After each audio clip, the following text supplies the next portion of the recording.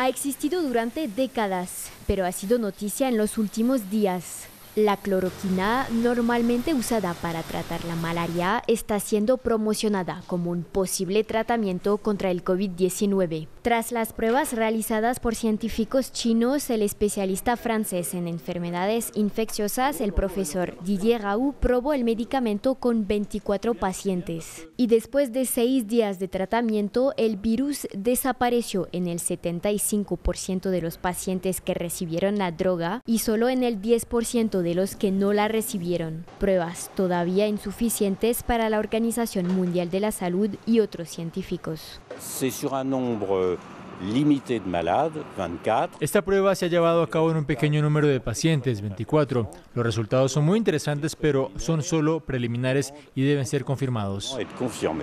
Además del pequeño número de pacientes puestos a prueba, muchos científicos critican la falta de test en personas en cuidados intensivos.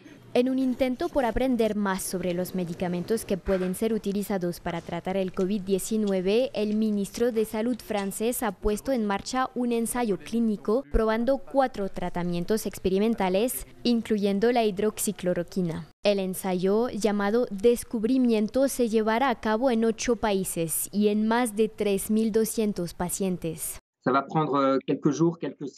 Tomará unos días, unas semanas. Estamos preparándonos activamente para poder responder en términos de producción si los resultados se confirman. Actualmente tenemos en stock unas 350.000 cajas, que corresponden al mismo número de pacientes. Los expertos advierten que como cualquier tratamiento médico, la cloroquina podría tener una serie de efectos secundarios y no debe ser usada sin la prescripción de un médico.